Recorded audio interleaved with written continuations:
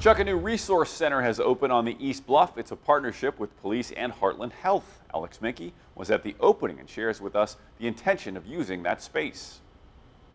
This is the second resource center for the Peoria Police Department, and it's located right here on Wisconsin Avenue.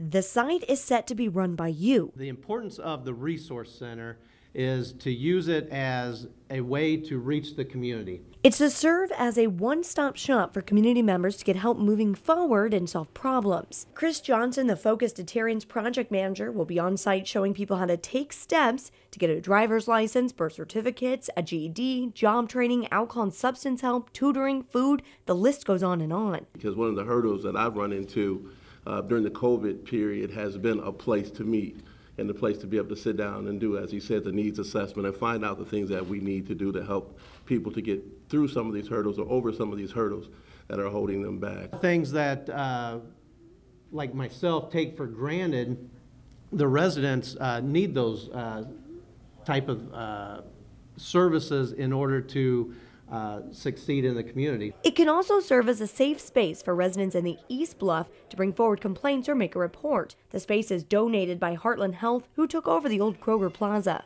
Heartland's Chief Medical Officer Greg Stoner says this is exactly what the neighborhood needs. If there is such a thing as preventive policing, this is it right here. The official hours are still being ironed out.